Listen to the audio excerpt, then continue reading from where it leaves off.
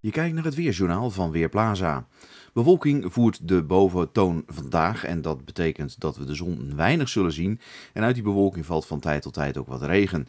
In de ochtend is het uh, tamelijk zacht met een graad of 18, 19. Maar in de middag komt daar amper wat bij. En zullen de maximumtemperaturen zo rond de 20, 21, misschien lokaal 22 graden uitkomen.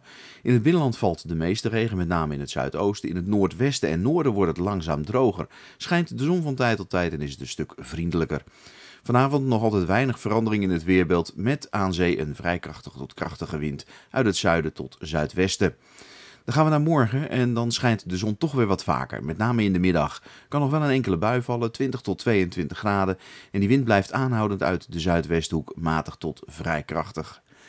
Voor eh, weersverbetering moeten we verder vooruitkijken. Vrijdag nog een enkele bui, maar al meer zon. En in het weekend is het op de meeste plaatsen droog. De zon schijnt dan geregeld en de temperaturen lopen verder op. Zondag wordt het lokaal 25 graden. Ik ben Marco Verhoef van Weerplaza.nl